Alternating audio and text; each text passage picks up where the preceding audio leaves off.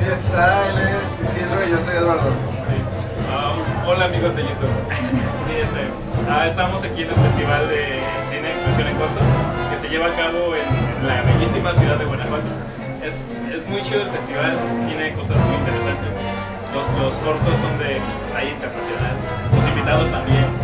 Y deben de verlos porque tienen muchos contenidos de carácter multitemático porque hay de todo, desde lo más alternativo hasta lo más informativo, cultural, documentales. Entonces realmente es un, un mundo visual que pueden explorar aquí. Entonces es muy recomendable para todos ustedes.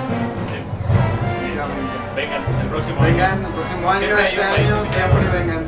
Ya definitivamente aquí Guanajuato. El país invitado este año es la India y, está ahí chido. La inauguración ayer estuvo muy bien.